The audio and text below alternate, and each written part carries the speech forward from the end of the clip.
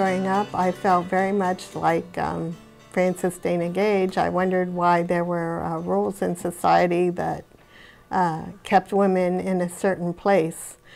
And uh, I was a student at Ohio University and in Zanesville, and I loved to study women's history. Uh, when we, I would study uh, the feminists from the 19th century, there were two women, Frances Dana Gage and Matilda Go Joslyn Gage. And so between both of them, it became quite confusing. But then when I found out that Frances Dana Gage was from McConnelsville, Ohio, that just did it for me. I was so excited to think that such an important feminist from back then was from Morgan County, Ohio, and you know just down the road from where I live. Um, so I have tried to learn about Frances Dana Gage as in many ways that I could, but there really wasn't a lot of ways to learn about her. Uh, then last year I went to uh, the museum in Marietta, and there was a speaker speaking, doing a one-woman play about her, and that was so exciting. Also, a woman from Morgan County uh, shared a book with me that some ladies had written from Marietta, Marietta College about Frances Dana Gage. So that provided some more information. The one is a children's book, and I shared it with uh, some of the historians in Zanesville at the, our historical society because Frances Dana Gage's sister attended the Putnam Female Seminary, which was in Putnam, which has is now absorbed into Zanesville, Ohio, but back then it was also an important stop on the Underground Railroad and it was a very important place for abolitionists, the abolitionist movement. And so no doubt Frances Dana Gage uh, knew many of the abolitionists in Putnam. And because Frances's parents were active in the anti-slavery movement and um, on the Underground Railroad, and we assume that the children may have assisted. In fact, this book says they did take food uh, to the uh, escapees when when the time was right and assisted with that. So Francis was uh, certainly grew up with her parents hating the slavery that they saw across the river. I mean, you don't think about it today, but in West Virginia, which was then Virginia, there was slavery, and uh, it was right there for everyone to see. So the Barker and Dana families were uh, early settlers of Marietta and Belpre and they were actively engaged in the Underground Railroad. Uh, when you come up to Morgan County, we had a woman named Affadilla Deaver who was also very active in Deavertown in the Underground Railroad. Also in Chester Hill, there were Quakers. It was called Chesterfield at an earlier time, but there were Quakers that uh, also were very active in uh, helping slaves escape up this way. So um, it is said in the books that uh, Matilda helped a uh, barrel maker uh, make a barrel, assisted with that, and her father said, what a shame that she's a female because she was so good at it. And at her young age, it probably, uh, just like Elizabeth Cady Stanton, just took her by surprise and she said that that turned her into a women's rights person right away when she heard that proclaimed. And she uh, vowed to work for women's rights the rest of her life, and she did. Now, she married uh, James Gage, and they, you can find them on the 19 or 1850 census here in, here in uh, McConnelsville. So Frances was very active in promoting um, anti-slavery sentiment she and women's rights and also uh, the temperance movement. Um, but women's rights was her first love. And uh, it is said, I have read, that the, most of the people in McConnelsville did not uh, agree with her. Of course, back in 1850, a woman's name was supposed to appear in the paper twice when she was married and when she died. And women really were not supposed to be out in, outside of the home sphere. Now, Frances had eight children, but uh, she managed to be quite active and she attended many uh, su women's suffrage conventions. And in fact, she chaired some of them. How we, she had this, but her lawyer, her husband was a lawyer.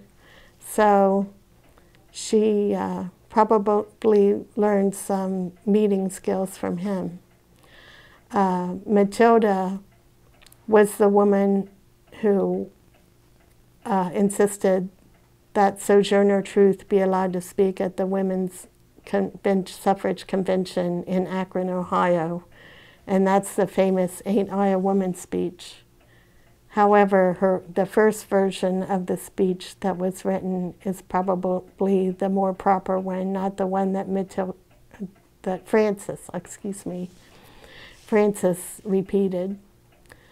So um, she knew all of the suffragists of the 19th century, or most of them. She was good friends with Susan B. Anthony. Uh, friends, and Susan B. Anthony came to Zanesville and gave a speech uh, Elizabeth Cady Stanton. She wrote for Amelia Bloomer's um, suffrage magazine, The Lily. Uh, she uh, wrote for the um, for magazines. She wrote children's books. She wrote poetry. And this also probably allowed her to make a little extra money for her family. Um, Frances was very proud of her family, and uh, they lived here. And then they moved out to um, Missouri. But when they were there, she that was a slave state, and her sentiments were certainly not appreciated. And her house was set on fire three times. So eventually they left Missouri and uh, they were also in Illinois and they came back to Columbus, Ohio and lived there. But in the meantime, she just was uh, the head of a suffrage convention in Cleveland. And, uh, you know, so that was uh, what her passion was. Then when the Civil War occurred, she went and helped with the Freedmen's Bureau, and that was in Parris Island in South Carolina.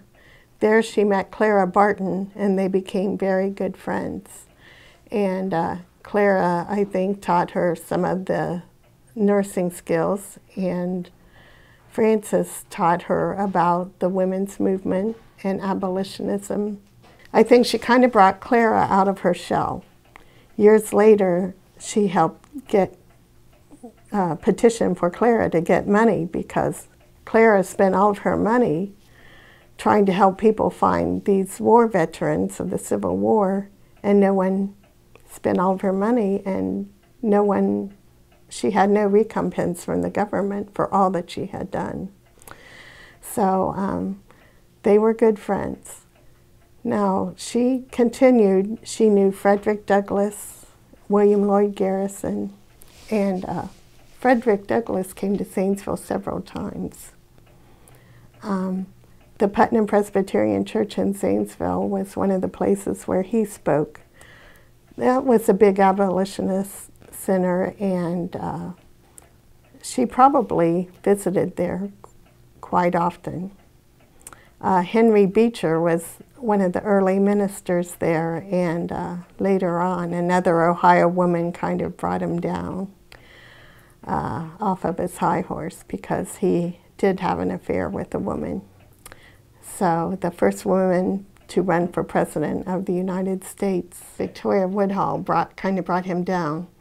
And it seems like there was a little bit of maybe bad blood between Harriet Beecher Stowe and um, Frances Dana Gage, but we really don't know. That's just what I read. She was busy raising her children, but yes, she did write articles and books, so she was apparently making some money. She wrote for an Ohio uh, agricultural magazine, little hints, household hints, and little articles, and people knew her as Aunt Fanny because, especially for the children's things that she wrote.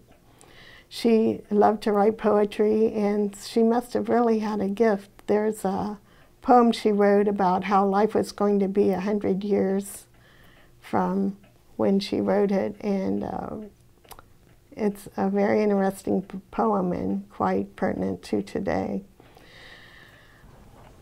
A song of the early times out west, and that bold, adventurous band who first set foot upon these shores where now their children stand, who felled the lordly forest tree and built the cabin home, resolved on meeting valiantly all dangers that might come.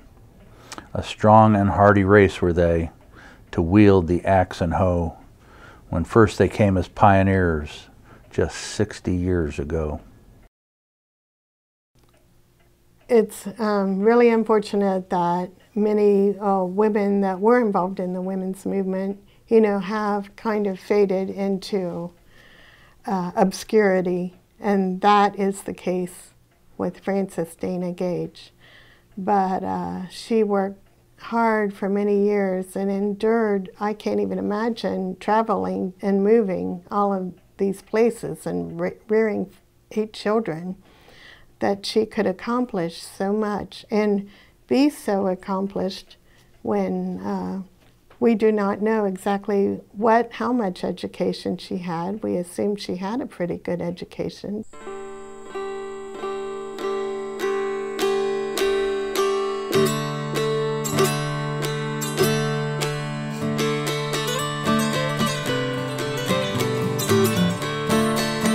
My grandmother, Hazel Post Fisher, who was born on the coldest day in Ohio history, just south of Corning, Ohio, uh, February 10th, 1899.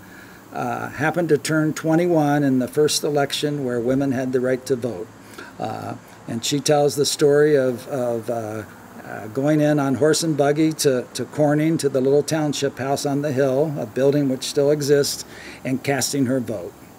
She added to that story the fact that at the same time she cut her hair short or bobbed her hair, as she called it, as part of the, the women's movement at that time to gain the right to vote. Uh, it's a treasured family story. My grandma voted in every election, lived to 101, and also had the distinction of living in three centuries from 1899 to 2001.